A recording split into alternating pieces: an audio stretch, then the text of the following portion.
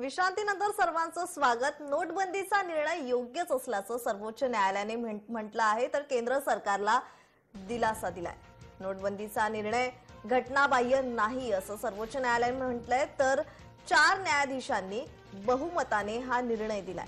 केंद्र आणि भारतीय रिझर्व्ह बँक यांना दोन हजार सोळा मध्ये एक हजार आणि पाचशे रुपयांच्या नोटा चलनातून बाद करण्याच्या सरकारच्या निर्णयाशी संबंधित दस्तऐवज सादर करण्याचे निर्देश सर्वोच्च न्यायालयाने गतवर्षी सात डिसेंबरला दिले होते.